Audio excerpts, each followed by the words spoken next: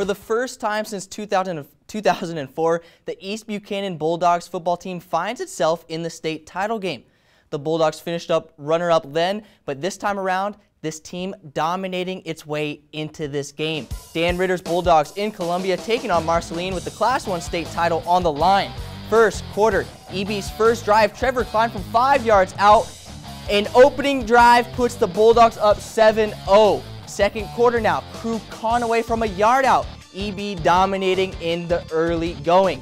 Tigers, though, with a chance to cut into the lead, fourth and goal, they're back up to pass. Trevor Klein on coverage. He gets the pass breakup. Turnover on down. Bulldogs lead 14-0 at the break. Now to the third. Opening drive. Klein barreling over defenders. That is a grown man run.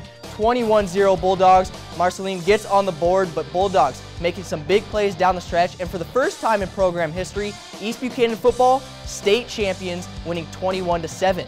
KQ2's Chris Roush with more from Columbia.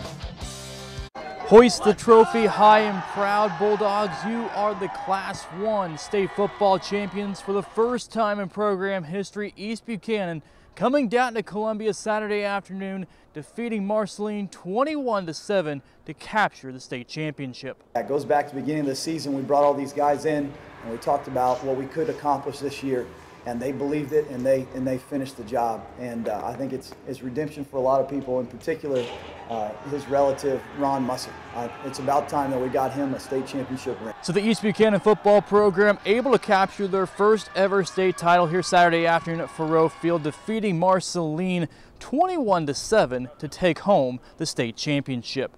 Reporting from Faurot Field at the University of Missouri, Chris Roush, KQ2 Sports.